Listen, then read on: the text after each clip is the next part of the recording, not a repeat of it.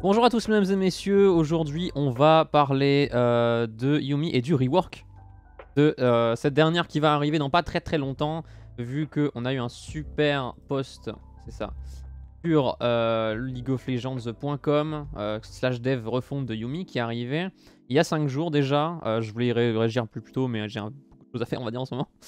Et euh, disons que euh, il fallait un petit peu préparer tout ça parce que j'ai teasé un petit peu dans euh, les notes de patch 12. C'était quoi C'était 12.23 justement C'était le dernier note de patch. à la fin, bah du coup, justement la jungle du coup. Là, ici. vu que dans les notes de patch 12.23, on avait déjà, voilà, on avait déjà un teasing de Riot qui parlait du fait qu'ils allaient retravailler sur Yomi une refonte plus importante pour aider le petit chat à trouver sa place dans la faille. Euh, intéressant du coup. Mais euh, on va garder un petit peu ça. Euh, je, vais, je pense que c'est... On va commencer à lire un petit peu le deuxième paragraphe, histoire de bien se, remémorer de ce qu'il voulait dire et qui est à peu près du coup chronologiquement la première chose dont on va parler dans cette, dans cette vidéo. Sachant que du coup il y a ce que Riot dit, et il y a ce que moi je pense qui se devrait être pris en fonction de... Enfin comme mesure, en fonction de basiquement les, les informations qu'on a à disposition. Bref, donc nous allons commencer à travailler sur une refonte plus importante de Yumi pour aider le petit chat à trouver sa place dans la faille. Le but sera de montrer ce que Yumi peut faire pour son équipe en tant qu'enchanteur attaché à un allié impossible à cibler. But sera donc de réduire le nombre de contrôles agressifs qu'elle peut faire, tout comme leurs dégâts, pour se concentrer sur les aspects plus défensifs slash enchanteurs. Nous réduirons ses ratios pour la rendre plus dépendante de la victoire sur sa voie, pour emporter des parties. Euh, nous vous dirons plus sur cette mesure prochainement, mais en attendant, nous vous remercions pour votre patience. Très bien. Alors, première chose à dire du coup, c'est que euh, les deux choses qu'ils veulent faire apparemment, c'est euh, déjà réduire ses capacités agressives et se concentrer sur les aspects plus défensifs. On va voir ce que ça veut dire. Et aussi euh, le fait de réduire, la rendre plus dépendante de la victoire sur sa voie pour remporter les parties. Actuellement, oui, on est sur, quelque chose d'un petit peu complexe. sachez que de l'autre côté, j'ai aussi d'ailleurs une petite game qui va être là et certainement il va falloir que je bouge toutes les quelques secondes d'ailleurs parce que sinon ils vont me dire d'aller me faire foutre. Euh, mais on va euh, également avoir des exemples dans le jeu. Donc voilà, euh, d'ailleurs je vais également en profiter pour enlever les trucs genre les tourelles, tout ça, parce que... Voilà. Non c'est chiant. Ok donc, très bien, donc ça c'est ça, c'est ce qu'ils ont dit en premier donc, dans le paragraphe. Et ensuite on a la compétence passive, machin, les changements qu'ils ont fait, qui était pour moi du complet placebo. donc pas énormément de choses à dire.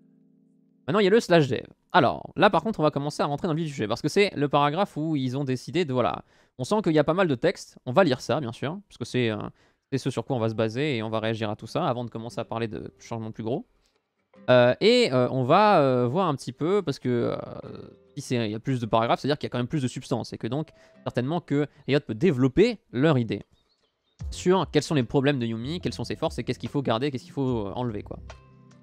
Donc, basiquement, depuis sa sortie en 2019, Yumi est devenu à la fois l'un des champions les plus populaires du jeu et l'un des plus controversés. Alors, là, je vais juste m'arrêter deux secondes. Ça, c'est... Euh...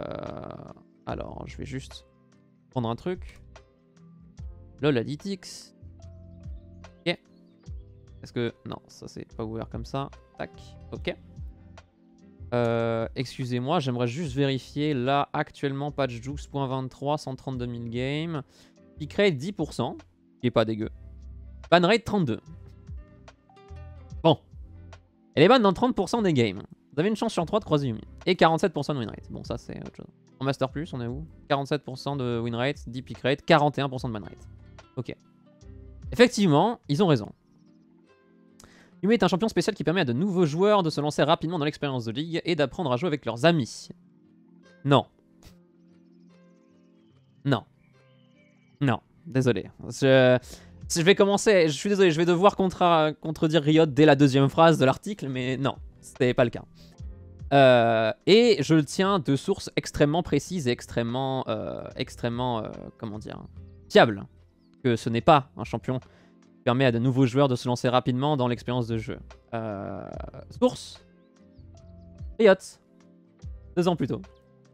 Ah, c'est... Ah, merde on va parler du demandé à Riot de 2020. Supprimer Yumi. Bah, comme quoi, les, problèmes commencent pas de cette année. Hein.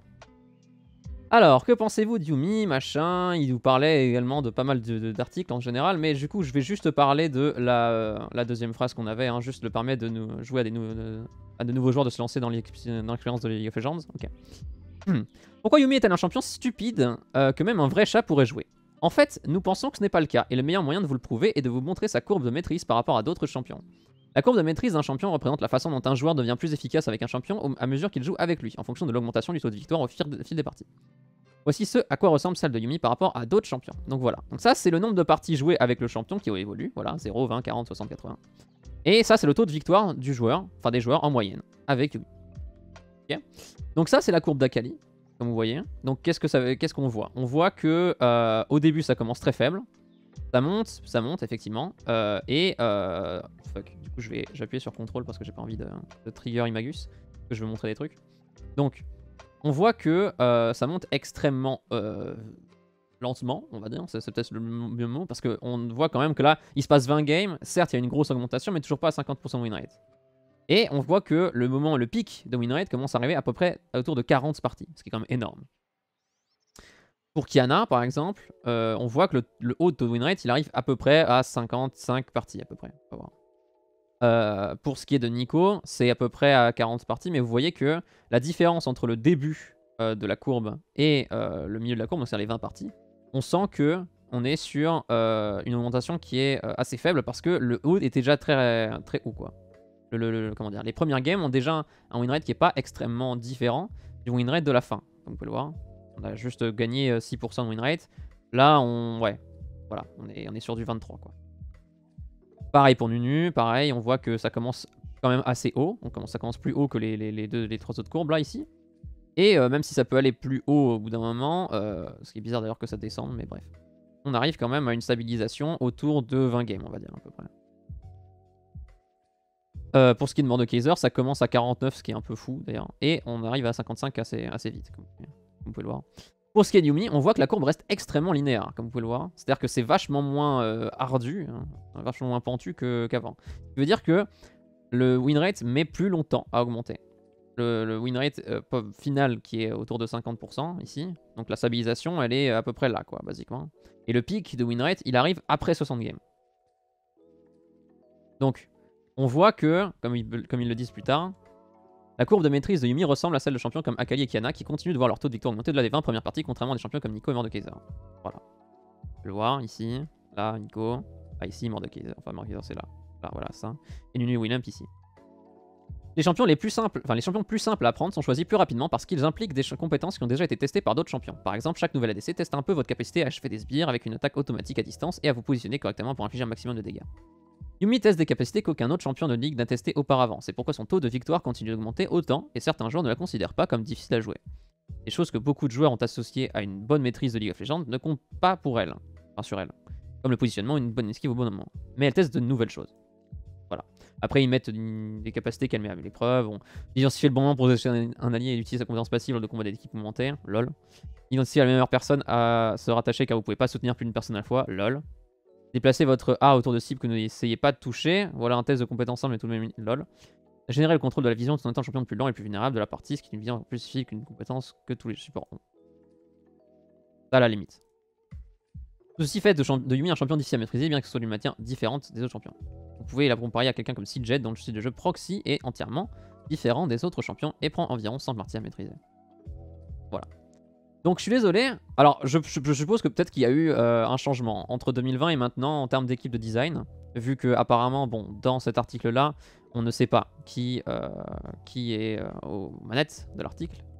On a Banana Bandit, exactement, c'est ça, c'est bon. Banana Bandit, HB, HB, bon, je sais pas comment. Et l'équipe de la Final Mais ça, c'est la rédactrice en chef. Donc je sais pas si c'est elle d'elle que viennent les, les décisions de design et les outils. le chef de projet des modes de jeu, Bon, qui a plutôt l'air de pas être... Euh, c'est ça, c'est plutôt de là que ça vient. Et euh, l'équipe de la feuille d'un locateur qui n'était pas donnée. Donc si ça se trouve, effectivement, c'est pas les mêmes personnes qui ont fait cet article-là et ceux qui ont fait le slash dev. Par contre, ce qui est sûr, c'est que ces informations-là, cette courbe de maîtrise, elle existe. Et c'est le même cas, c'est toujours le cas pour, les, pour aujourd'hui. Pas comme si euh, Yumi avait une refonte drastique qui fait que ça allait fondamentalement changer euh, la capacité des. Euh, enfin, sa, courbe d'apprentissage. Donc, euh, désolé, mais Riot, Yumi n'est pas un champion idéal pour, pour apprendre le jeu. Source vous-même. Même si Yumi a atteint ses objectifs initiaux, elle a également, bon, du coup non, elle a également posé de gros problèmes en matière d'équilibrage à tous les niveaux de jeu, et ce, malgré plusieurs changements et mises à jour, effectivement. Et ça, on va en parler un peu plus tard quand je vais parler du, rework de Yumi, euh, de ma version du rework de Yumi. Nous sommes ici aujourd'hui pour vous expliquer ce que pense l'équipe de conception de notre chat magique, vous donner un aperçu de sa future refonte. Ok. Contrairement à tous les autres champions de League of Legends, Yumi dispose d'une mécanique unique qui lui permet de s'attacher à ses alliés et de rester impossible à cibler indéfiniment. Ça, c'est vrai. Même si cette... Bon, en même temps, c'est normal, c'est eux qui l'ont designé. Heureusement qu'ils sont vrais là-dessus. Même si cette mécanique unique l'a rendu plus euh, euh, abordable pour de nouveaux joueurs et leur a permis de s'attacher à leur tour Yumi, il faut savoir qu'elle a suscité quelques obstacles. Au niveau défense d'enchanteur, son identité d'hyper carry. Ah, hyper carry, tiens. Et pourtant, quand j'ai fait ma tier list sur les Worlds, les gens ont dit que Yumi était pas un hyper carry.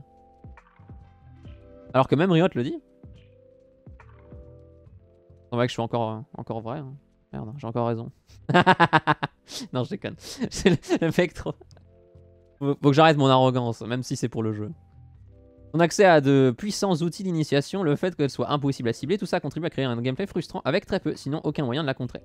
les enchanteurs sont une classe qu'on équilibre souvent à travers leur durabilité et la portée de leur sort, ça nous permet de limiter la protection et l'aide qu'ils apportent aux champions de mêlée. Par exemple, un combattant ou un assassin qui fonce dans la ligne arrière doit le faire sans l'aide d'un bouclier de lui ou d'un soin de Soraka. Alors, ça dépend de l'assassin, on va dire. Euh, parce que si c'est un Nocturne, il peut très bien se faire shield et ensuite y aller. Mais je vois. Et pareil pour un Uticale ou un truc comme ça. Ces classes-là sont souvent équipées d'objets et de compétences pour les aider individuellement. Il faut savoir que Yumi contourne cette règle-là puisqu'elle peut sauter sur le champion le plus fort, peu importe ce qui s'est passé en début de partie, ce qui est vrai. Depuis sa sortie, nous avons effectué de nombreux petits changements pour maintenir l'identité de Yumi, tout en réduisant sa présence en jeu professionnel. Malgré d'autres équilibrages et une mise à jour de durabilité, Yumi n'a toujours pas trouvé une place stable dans la file solo. Elle reste l'un des champions les plus puissants des deux mondiaux. Alors, par l'un des deux champions, l'un des champions les plus puissants des deux mondiaux, vous voulez certainement dire 100% de ban rate dans les Worlds 2022. Enfin, pas de ban rate, excusez-moi. 100% de présence. C'est-à-dire que soit elle est pique, soit elle est ban. Euh, dans tout le mondial 2022. Ce qui est un peu beaucoup quand même. Je vais vous le cacher. Je vais pas vous le cacher, c'est quand même pas, pas dégueu. Donc oui, effectivement, l'un des champions les plus puissants des deux mondiaux, si ce n'est le personnage le plus puissant des deux mondiaux. Et effectivement, elle n'a toujours pas trouvé ça une place stable dans la file solo, comme on peut le voir ici avec un win rate qui reste très très bas malgré le Master Plus, qui est, je le rappelle, euh, un rank où si vous tapez n'importe quel champion, allez, euh, Rise Ok, même lui, ok, même lui il est chum, ok, my bad. My bad, même lui il est chum. Euh, un, personnage qui est vraiment vraiment nul, mais pas à ce point nul. Merde. Des idées là en dessous. Karen. 52. Voilà, bon. La plupart des champions sont au-dessus de 50% de win rate. Si vous allez dans la tier list, voilà. Donc vous voyez que énormément de champions sont à 50% de win rate en master et qu'il y a certaines euh, anomalies lol Lysine. Euh, Yumi, euh, ici Aphelios, mais bon ça c'est un peu normal pour Aphelios. Il y a que quelques anomalies qui sont au-delà de 50, enfin en dessous de 50% de win rate. Tout le reste à plus de 50%. Ça s'explique notamment par plusieurs facteurs, notamment le fait que les masters ne jouent pas que contre des masters et que donc euh, généralement ils ont tendance à gagner contre des gens qui sont pas des masters. Hein. Mais du coup, le, win rate n'est calculé que par les joueurs qui sont des masters qui jouent. Et donc les personnes qui perdent ne sont pas des masters. Et donc ça ne baisse pas le win rate de leurs champions en master. Bref. En gros, euh, gros c'est ça qui se passe. Et donc du coup, même sur cette échelle-là, qui prend énormément de champions et donc où il est extrêmement facile d'avoir plus de 50% de win rate, même avec un champion plutôt pas fou, euh, bon, Rise, c'est autre chose, mais Yumi, surtout, un win rate drastiquement faible. Et si on passe en All Ranks, elle est encore plus bas. 46% de win c'est vraiment peu. C'est vraiment peu. Alors, on n'est pas genre... Euh, on n'est pas genre dans le, truc fou furieux non plus, mais... Euh, voilà, on est sur un truc extrêmement, extrêmement chum. Sachant que, ouais, il y a deux moments, il y a deux patchs. Deux moments même, parce que je sais même pas si c'était... c'est ça. Il y a deux moments où il a passé un win rate euh, supérieur dans les, dans les jours, mais voilà. On va dire. Du coup, ouais. Euh, comme vous pouvez le voir, c'est un win rate qui reste assez faible en solo queue. Euh, malgré un ban rate qui est toujours énorme, parce que 20% en all rank c'est énorme. Et un pink rate qui est quand même assez élevé quand même. Donc voilà. C'est un peu les, les, les problèmes qu'a Yumi actuellement, c'est que c'est un champion qui est à la fois beaucoup trop fort en pro play, à, à tel point qu'on est obligé de le bannir, même si je considère que Mi a des réponses en pro play, c'est juste que les, joueurs pro ne veulent pas les jouer. Euh, ou en tout cas ne peuvent pas les jouer, je sais pas. non, ne veulent pas les jouer. Et du coup, par contre, donc c'est le paradoxe entre le fait qu'elle soit extrêmement forte en pro play, mais qu'elle soit très très nulle en solo queue. Basiquement. Et le fait qu'on supprime les duo queue au bout d'un certain elo va pas forcément augmenter le, win rate quoi. Depuis sa sortie, nous avons effectué de nombreux Est-ce que, je l'ai sauté? Oui, c'est ça. Oui, c'est ça. Oui, non, ça, on l'avait déjà vu. Nous pensons qu'il donc apporter des changements conséquents sur le long terme. Que Yumi puisse trouver une place où elle sera à la fois agréable pour ses joueurs, moins dominante dans le jeu organisé et plus simple à équilibrer. C'est ça. Nous ne sommes pas satisfaits de l'état actuel de Yumi et nous travaillons sur une refonte pour réduire les sources de frustration lorsque vous l'affrontez, en préservant ce gameplay tant adoré par ses joueurs. Nous souhaitons également résoudre les principaux problèmes qui expliquent son fort taux de bannissement et sa domination au niveau pro. Alors, Perdre sa voix continue donne souvent l'impression de perdre la partie à cause de sa force et de monter en puissance. Alors ça c'est vrai, mais c'est vrai pour absolument tous les champions de scaling. C'est-à-dire que tous les champions qui ont un très haut scaling sont des champions où euh, généralement quand tu perds contre eux en lane, t'es en mode bon bah génial, la game est finie, c'est quand qu'on surrène. Parce que c'est des champions qui sont censés être très faibles en early, et donc si tu te fais poutrer dans, dans le moment de la game où ils sont le plus faibles, et qui vont faire que monter en puissance relativement à toi dans la partie, euh, t'as un peu la flemme de les affronter, sachant que tu perds déjà. Ça, c'est le cas pour Yumi, effectivement, puisque c'est un champion qui scale. Mais euh, c'est le cas pour énormément d'autres champions, et c'est pas forcément un gros problème. Enfin, c'est un problème du fait que les champions early sont trop faibles en late. La puissance de Yumi ne dépend pas de son propre succès, il paraît donc inutile de faire perdre Yumi sur sa voie puisqu'elle peut changer facilement de partenaire. Alors, euh, ça dépend. Alors, ça dépend surtout en pro play, en fait. Parce que, pour le coup, en pro play, il y a quand même énormément de games qui sont gagnés par le Fedor Yumi pour le coup. Après, je suppose que. En fait, je sais pas s'il considère le fait que. Euh, non, c'est ça. En fait, oui, certes, euh, si elle peut se fixer à, un champion qui est plus fort, euh, qui est bien mieux dans la game qu'elle, elle le rend un peu encore plus broken qu'il est déjà, mais ça, c'est le cas pour tous les enchanteurs, ça. Donc, enfin. Tous les enchanteurs peuvent shield le mec le plus fort de leur équipe et servir quand même à quelque chose. Yumi, c'est pas forcément un champion qui fonctionne nécessairement différemment d'un champion comme Jana, d'un champion comme Karma, d'un champion comme Soraka. Il y a beaucoup de trucs en A. Mais bref, euh, le fait est que il y a énormément de champions qui fonctionnent comme ça, et c'est souvent des enchanteurs. C'est pas, certainement une, pas forcément une caractéristique qui est euh, propre à Yumi, quoi. Euh, jouer en tant qu'ADC avec Yumi n'est pas amusant car son début de partie est faible en partie solo et qu'elle peut facilement s'acheter à quelqu'un d'autre. Alors, c'est vrai. Après, c'est vrai que le, en fait, le problème, c'est surtout que l'early game de Yumi est vraiment très très chum. C'est peut-être ça le, plus gros problème que je pense existe dans le jeu actuellement, c'est que c'est pas tellement le fait qu'elle soit genre faible en début de partie et qu'elle scale, euh, ça on s'en fout à la limite. Parce que bon, euh, enfin, sinon autant, autant dire jouer avec un champion scaling en général, c'est pas amusant. Parce que son début de partie est faible. Bah ouais. Mais qu'est-ce que vous pensez des supports qui sont en mode euh, One Trick Nautilus Leona depuis la saison 4 environ. Et qui euh, tombe sur des mecs qui jouent Kogmo, des mecs qui jouent, je sais pas moi, euh, Senna, des, mecs qui jouent. Euh, même Aphelios, même si Aphelios a un, early game pas si dégueulasse, mais bref. Des, des AD carry ou des botliners qui sont extrêmement orientés scaling, c'est à peu près la même chose. Est-ce que tout le début de partie des champions doivent être suffisamment forts pour pouvoir faire des 2v2 euh, Je sais pas. Je pense pas forcément. C'est à peu près la même chose que dire c'est pas amusant de jouer avec Kale. Euh, certes, effectivement. Euh, en early, c'est pas un champion. Yumi, c'est pareil. Mais c'est vrai que Yumi, le problème, c'est qu'elle est souvent jouée en bot lane, qui rend le truc un peu complexe, quoi. Euh, est-ce que je suis... Euh, oh, fuck, la game exit. Bon, bref. My bad. De toute façon, je vais relancer la game après. Donc... Euh... Ça, on avait ça. et au niveau de jeu pro, Yumi manque d'opportunités de compte exploitable en raison de ses puissantes capacités de défense et d'initiation. C'est ça. Donc, en gros, ça, on va, on va en parler lorsque je vais analyser les sorts, mais effectivement... Ça, c'est pour le coup un truc qui est vrai. Peut-être le truc le plus vrai. Enfin, ouais, tout est vrai ici, mais c'est juste que effectivement, c'est chiant. Euh, c'est effectivement tout ça qui, rend le, personnage chiant ensemble et pas forcément les caractéristiques individuelles. Comme je l'ai dit, il y a pas mal de trucs qui peuvent être expliqués par le fait que ce soit un champion scaling slash un enchanteur. Nous pensons que Yumi est très importante pour l'effectif de League lorsqu'elle se positionne comme une Garen, une Annie ou Sona qui étaient toutes, tous conçues pour aider les joueurs à se familiariser avec la faille d'un invocateur. Donc euh, ça, on a encore dit que c'est faux. Garen, Annie ou Sona euh, sont très différents en termes de gameplay par rapport à Yumi, et que Yumi ne fait absolument rien comme ces champions-là. Je vois pas comment est-ce qu'on peut faire légitimement une comparaison en tant que game designer entre Yumi et, Annie euh, j'avoue ne pas comprendre. J'ai l'impression que...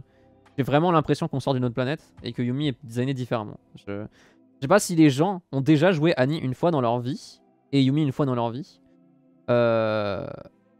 Ceux qui ont déjà fait ça peuvent vraiment dire... Est-ce qu'ils peuvent vraiment dire que les deux champions jouent pareil? Je sais pas. Ou qu'ils servent le même rôle. Yumi, c'est la version support de Aphelios. Dans le sens où c'est un champion sur lequel Riot a designé... Euh, enfin, a créé, a assigné des compétences et euh, extrêmement différentes, euh, vraiment clivantes de tous les autres champions du jeu, que le champion se joue complètement différemment de tous les autres champions, tout en étant à peu près la même chose puisque ça sert quand même un archétype. Aphelios c'est le fait d'être un Adekari et Yumi c'est le fait d'être un enchanteur, basiquement.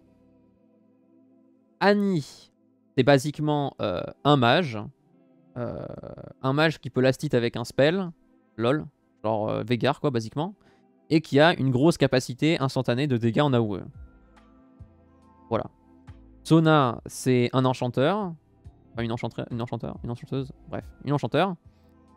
Euh, un enchanteur, bref, j'en suis pas. Un enchanteur qui, euh, basiquement, t'appuies sur une sort, ça, t'appuies sur un sort, ça heal, t'appuies sur un sort, ça fait des dégâts, t'appuies sur un sort, tu vas vite, et t'as un outil qui fait des dégâts en AOE. Ok?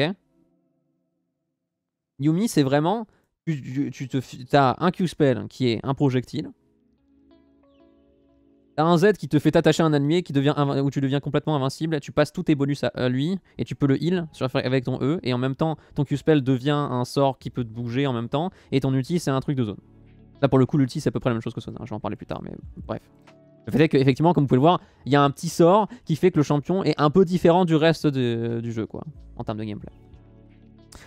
Les champions sont très importants parce qu'ils permettent aux joueurs de apprendre en League of Legends sans être trop difficile à jouer. Le seul, le seul truc qui est intéressant quand tu commences le jeu avec Yumi, c'est qu'il euh, y a énormément de capacités sur lesquelles tu n'es pas testé. C'est-à-dire, effectivement, euh, si, on si on repart sur le, sur le, truc d'avant, effectivement, euh, le, positionnement, l'esquive, et même le fait de mettre des dégâts en général avec des auto-attaques ou des trucs comme ça, par exemple, et le fait de viser avec des compétences aussi, parce que le Q-spell lol, des trucs qui, que tu ne fais pas avec euh, Yumi. Et donc, euh, tu peux te dire, je vais me focaliser sur les aspects que Yumi me permet d'apprendre. Mais le problème, c'est que ces aspects-là sont pas forcément retrouvés dans les autres champions. C'est ça qui est problématique, c'est que la translation de, de, capacité, de skill, de compétences euh, n'est pas aussi bonne avec Yumi qu'avec d'autres champions pour les débutants. Mais bref, je, me concentre sur les, compétences qui sont demandées par Yumi. Et euh, une fois que je les ai bien maîtrisées, je peux passer à celles qui sont pas demandées par Yumi. Donc euh, jouer un autre champion basiquement. Le problème c'est que j'ai du mal à voir comment est-ce que ce, truc là pourrait arriver, puisque comme je l'ai dit, euh, Yumi demande des skills, comme ils l'ont dit d'ailleurs avant euh, dans l'autre article, Yumi demande des compétences qu'aucun autre champion de ligue a testé avant, et donc ça sert à rien de les apprendre pour Yumi quand tu vas apprendre le jeu, puisque tu vas pouvoir les utiliser que sur Yumi.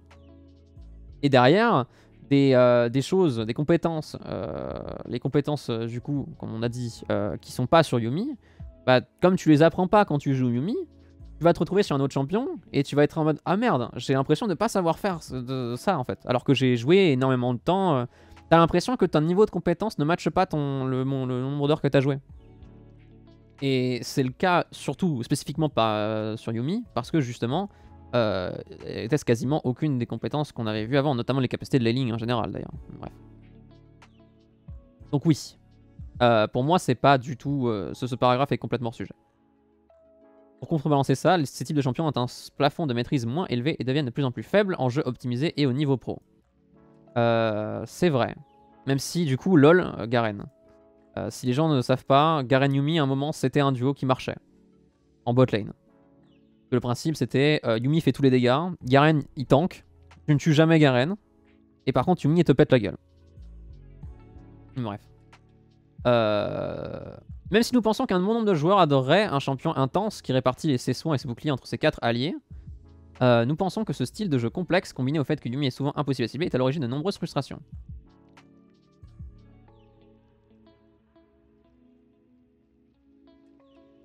J'ai pas compris. Ah, parce que vous pensez vraiment que Yumi, genre, se balade d'allié en allié? C'est fou. C'est incroyable. Hein. Quand est-ce qu'on a déjà vu ça? La seule chose que... Attends, le seul moment où Yumi passe d'allié en allié, c'est quand l'allié meurt. Il hein. a vraiment jamais d'autres euh, situations. Hein.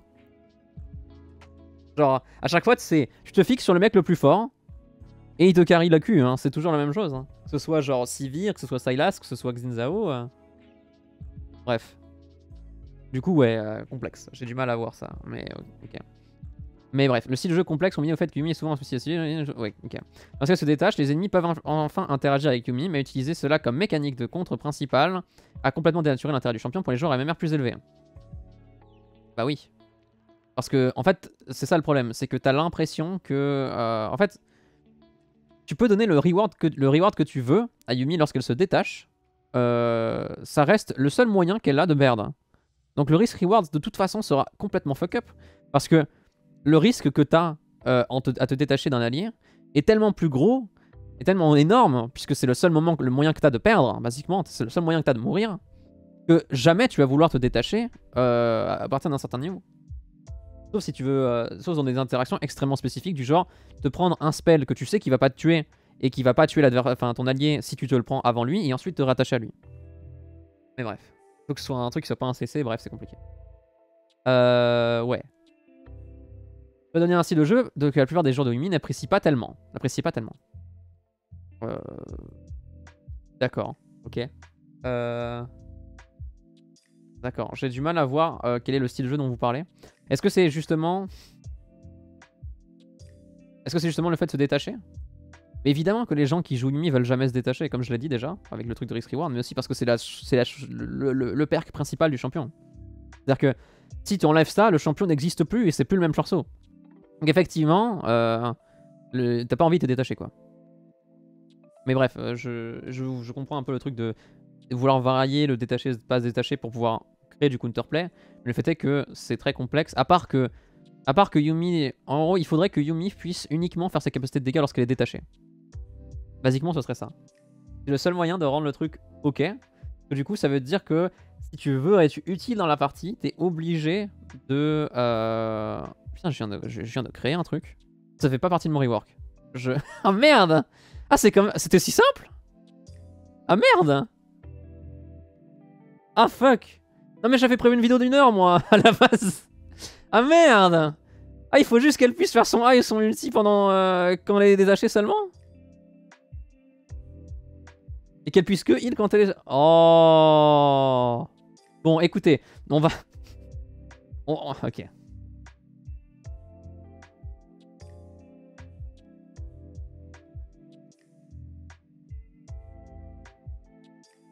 Je sais pas écrire.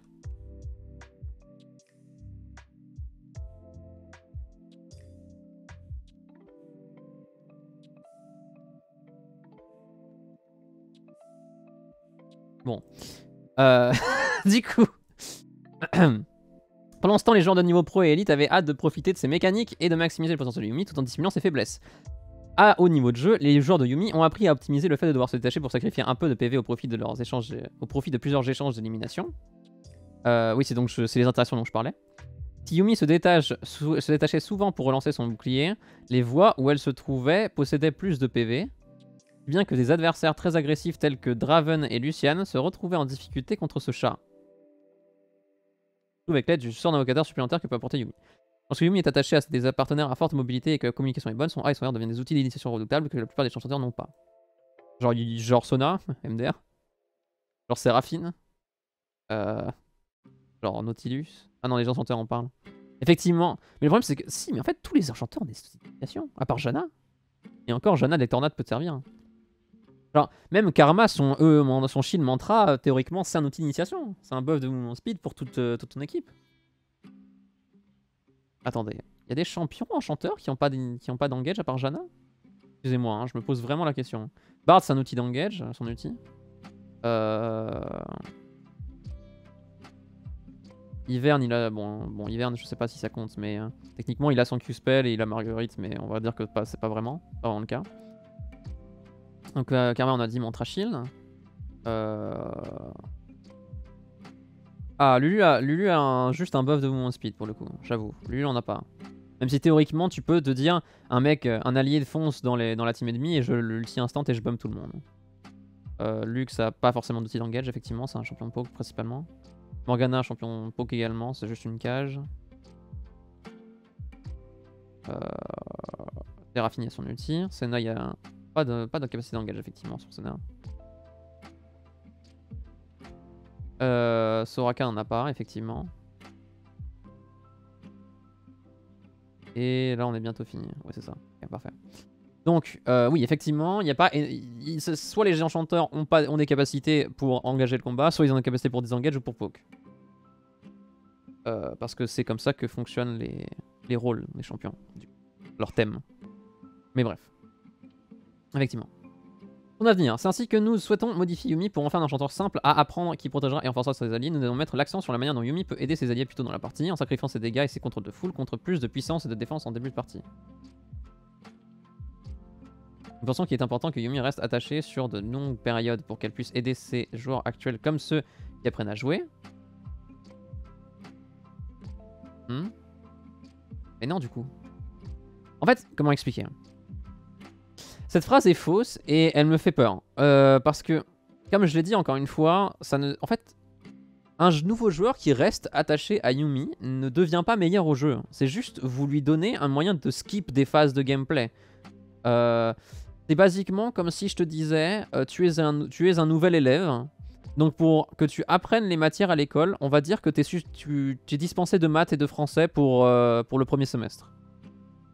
C'est pas comme ça que ça marche. C'est-à-dire que dans le deuxième semestre, il va devoir apprendre en fait. Et après, il va devoir rattraper. Pendant que, le nouveau joueur qui joue Yumi, euh, basiquement, que là, bon, autant faire ça, hein, littéralement. Donc,